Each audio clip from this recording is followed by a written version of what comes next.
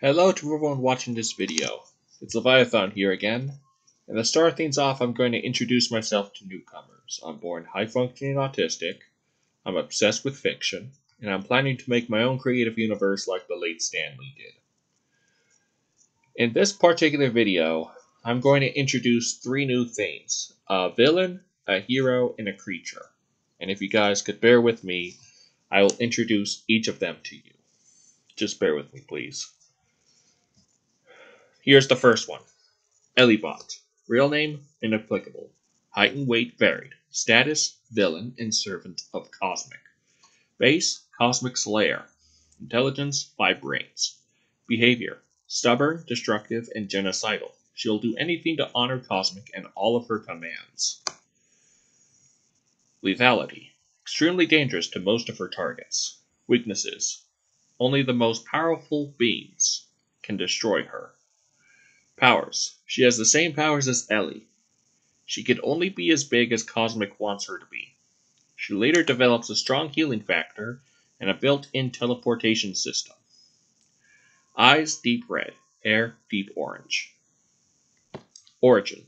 One time, Kozmik learned that one of her known creations, Ellie, had joined the ranks of the Alpha Gods, and thus Kozmik decided to make her own version of her. With the help of villains Neuron and Dark Pym, they created an evil android of Ellie that they decided to name Ellibot. Kozmik then stated to Ellibot to eliminate the two to eliminate the two Earths.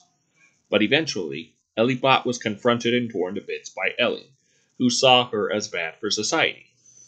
Outraged at both another defeat and losing against the betraying Neuron and Dark Pym, Kozmik restored the damaged Ellibot and program- programmed her to be worse than before. Costume. She simply wears nothing official, nothing in particular. Teams. She simply works for Kozmik. Original inspiration? Ellie. The next character I'm going to introduce is the hero, which is the daughter of a well known duo that I've already introduced you guys to in the past. Fauna. Real name? Gabby Hippra. Height? 5 feet 11 inches. Weight? 150 pounds. Status? Hero. And daughter of Centaura and Pan. Base? New York City. Mobile. Intelligence? 3 brains. Behavior? Flirtatious, yet serious. She's always happy about herself. Lethality. Very lethal, but usually when outraged. Weaknesses. She hates it when others turn her down. Powers. She has sharp hooves, high agility, great speed, and long pointed horns. She is also a good guesser. Eyes olive green, hair brown, but dyed blonde. Origin.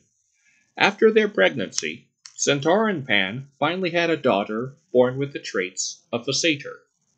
However, Chimera attempted to kill their child, forcing the two to leave her up to adoption in order to keep her safe. The infant was taken to a neighborhood in New York, where she was given the name Gabby. By high school, Gabby was the cheer captain and the only person in town at the time to be a satyr, which she never really worried about. One day, she saw a mugger abusing a kid, and she stopped him by headbutting him. Afterwards, she was marked as a hero and reunited with Centaura and Pan. Since then, Fauna was both an expert cheerleader and a crime fighter with her true parents. Costume. She prefers her orange and white cheerleader uniform. Team Solitary with her parents and other heroes. Origin inspiration Satyrs of Greek mythology. Here's the last thing I'm going to introduce, which is a creature, a native of uh, an island located in the northern part of the Atlantic Ocean called Ancient Island. Gatorbot. Real name inapplicable. Length 10 to 25 feet. Weight 4.5 to 13 tons. Status villain and native of Ancient Island. Base Ancient Island, Atlantic Ocean. Intelligence, one and a half brains. Behavior, sneaky yet relentless. It'll do anything to cure its hunger. Lethality, Highly deadly, both in and out of the water. Weaknesses. It's the favorite meal of any Spinobot. Powers. It has great strength, sharp teeth, tough scales, is a fast swimmer, can hold its breath for weeks, and has a series of tail spikes used both as a mace and like throwing darts. It also possesses computer based senses, can make a paralyzing shriek, and can sometimes travel in groups of around 30 to 50 members. Eyes glowing red, hair none. Origin Since the birth of Ancient Island, most of the rivers and lakes were dominated by ferocious gatorbots. It has the same lifestyle as that of prehistoric crocodilians, but is deadlier due to being cybernetic.